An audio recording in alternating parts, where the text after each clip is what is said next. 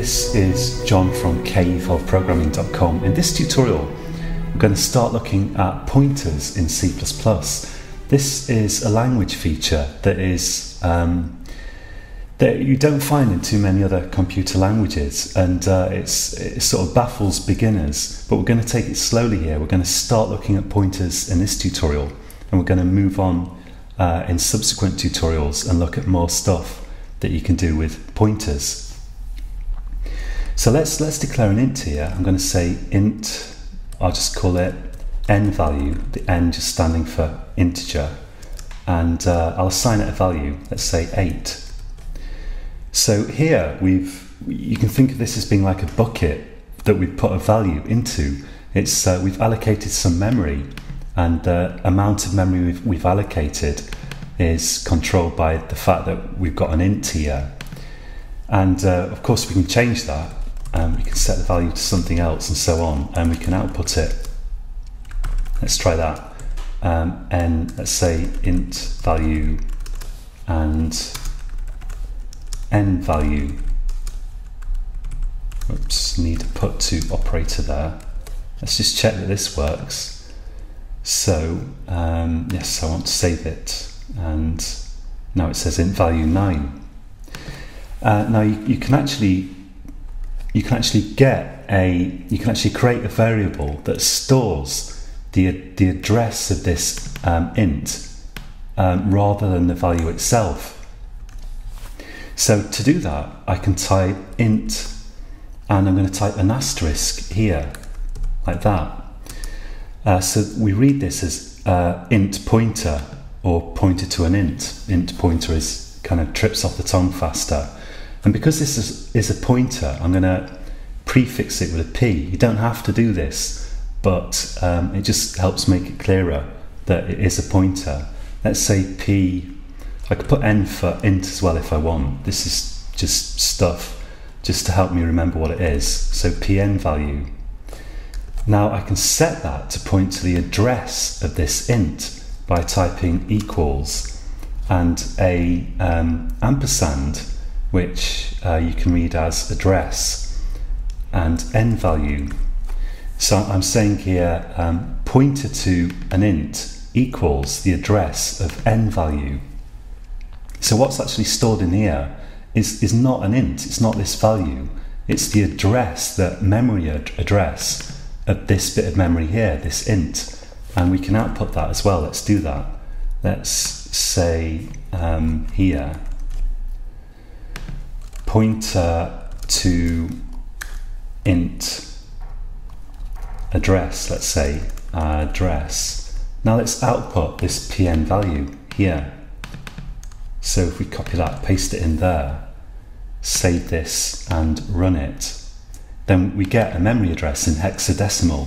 So it, this is just a number, the OX just says it's hexadecimal, as we saw in a previous tutorial.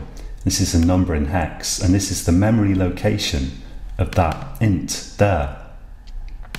So what, what can we actually do with this? Well, these are very useful in C++. They have a lot of different uses, but one thing we can do is get back the original int. So let's paste in another cout here, like this, and say int value via pointer. Now, if we just put the actual pointer variable name in here, of course, we're going to get the address again. What we can do is something called dereferencing the pointer. And to do that, we just type an asterisk in front of it. And this gives us the value that the pointer refers to. So let's try this. And when it runs, we get 8. So we've got several bits of um, notation syntax here. Here we're using a star, we're saying int star, or like another way to write it, which um, maybe is nicer, but depends on your preferences really, is to put the asterisk directly before the variable. That's, that also works. So we're using the star here to, th this is the type of this variable. So the type of this variable is, we read it from uh, from right to left.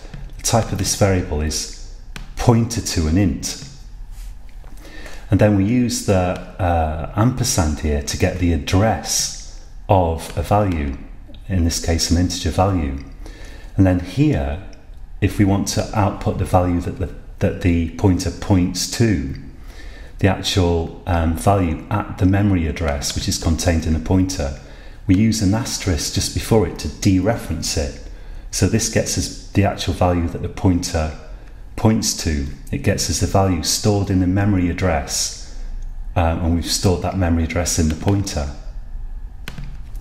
Um, it's uh, the, the, easiest way to understand this is just to practice using it because uh, I find you can read explanations of this and um, it's really hard to remember which asterisk and which ampersand goes where. It's only when you use it and you type it out that you really start to get a feel for it.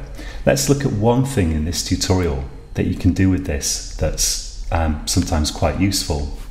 Let's declare a function up here. So I'm going to say void and we'll call it, um, let's call it, um, I really don't know actually. I'll call it manipulate and let's make that take an int. So int value. And what manipulate will do is we'll just say value equals 10, like that.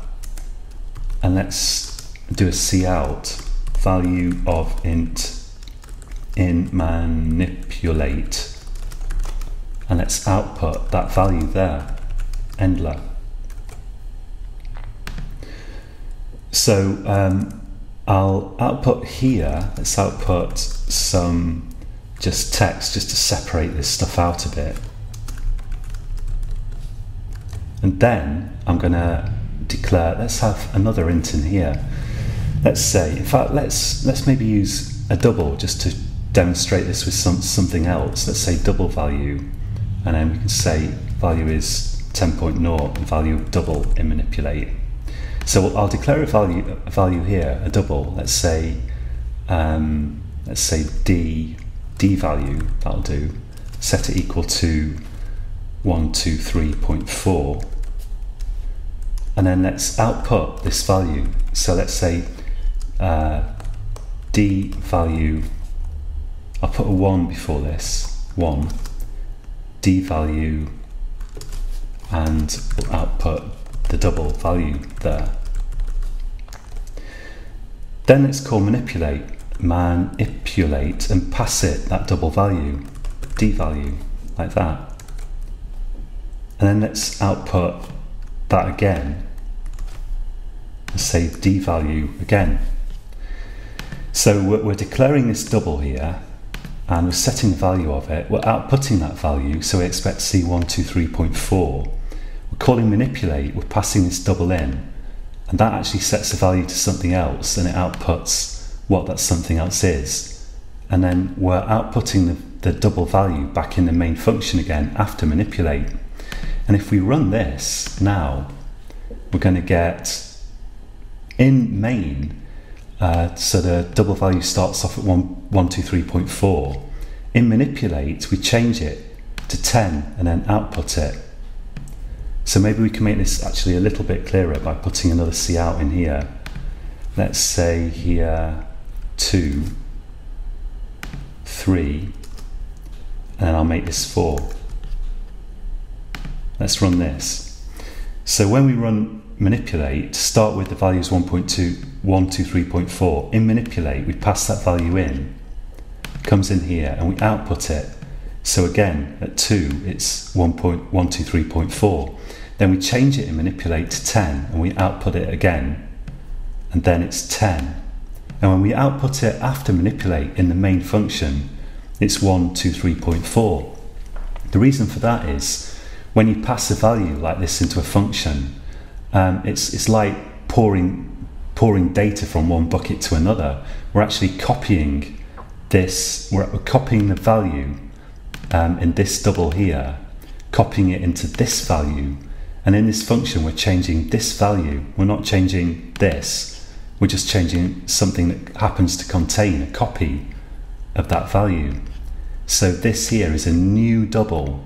And when we call manipulate, pass that value in, we're just taking this value, putting it into this copy and changing the copy so that when we get back into the main function, when after this manipulate returns, our, our, our original double still has its original value. The fact that we, check, we change the copy of it here doesn't make any difference to it.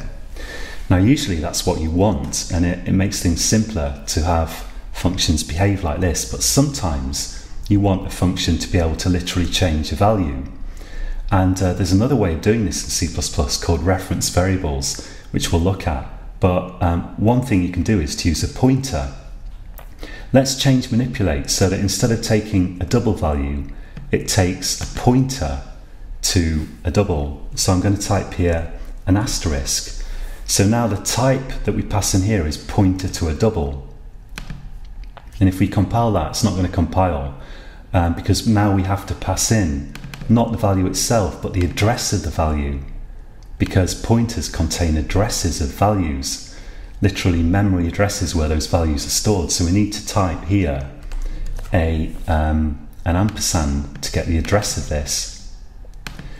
So now um, we're, we're passing that in, and now we don't want to assign it a value 10 because this will contain the address of this. If we assign it a value 10, we're saying, okay, change this memory address to 10 which is pointing at some random bit of memory, and we don't want that.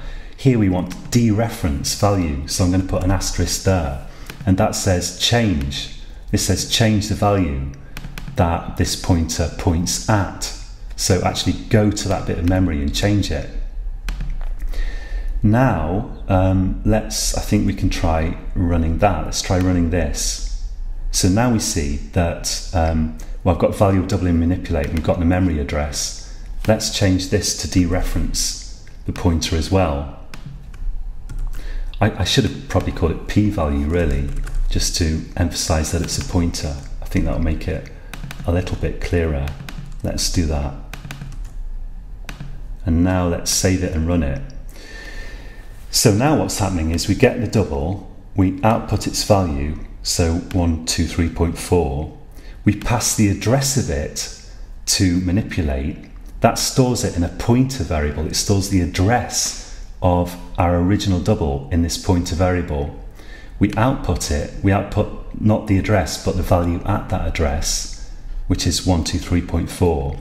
We change it to 10.0 by dereferencing the pointer and changing whatever value is stored at that memory address. We output it again, we output the dereference pointer so the value at that address, and it's of course it's 10 now. And then back in the main function, we output the double value, and now it has changed because we actually went to the address and changed the value. So in this version of the program now, there's only one double. We don't have a copy of this double. Um, what this is, is the address of the double. There's only one double, and this pointer points to that double. It has the address of that double, and we can use it to change the original value stored at that address. Uh, so that's it for this tutorial, and um, I'd highly, highly recommend uh, that you practice this yourself. So just do what I've done here. Uh, first, try typing out a value, whatever you like. Could um, you know tr maybe try an int or a double? That's probably simplest. And um, then try declaring a pointer to that value and um, like this and try using the pointer to change the value. So of course we could change the value here using the pointer as well. You know, we could say um, star pn value equals some int like that.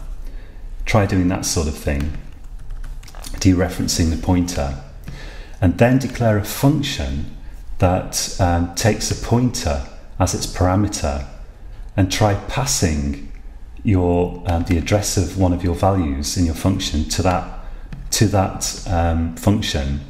Try changing it in the function and see what you get afterwards. So try to do all this and um, try to do as much from memory as possible but you, you're almost certainly going to have to refer back to this uh, to remember it but try to look at it as little as possible and see how far you can get you'll probably find if this is new to you that you'll make a lot of mistakes in getting this to work you'll probably um, you know, it's uh, it's not too difficult to actually do this bit. um, but you probably need to refer to this before, a few times before you can do it from memory. And then this bit, when you actually pass a value to a function and that function actually changes the value by using a pointer, that's a bit tricky as well. And you'll probably make some mistakes first time you do it. But um, it's, it's very, very good if you can get to the point where you can type out this code and you can create functions that take pointers and change the value of the variable using that pointer by dereferencing it from memory. Because once you've done that, you've really got not such a bad um, uh, feeling for pointers, I think. So uh, that's all we're going to do in this tutorial, and we'll look at pointers more in the next tutorial. But um, yeah, it's, it's good to practice this because we're going to get we're going to do more stuff with pointers in subsequent tutorials, and it's going to get more complicated, but not much more. So um, so don't worry. And uh, once you've understood this, you can really kind of give yourself a pat on the back because this is something that defeats a lot of beginners. A lot of people know C++ uh, to a point, but pointers is the point at which they sort of give up. So it's really worth persisting with this. And I'd say don't agonize about it too much. The thing is to um, get your fingers to kind of remember it, remember what you have to type where in order to get this to work. And then the understanding sort of tends to come later on. So until next time, happy coding.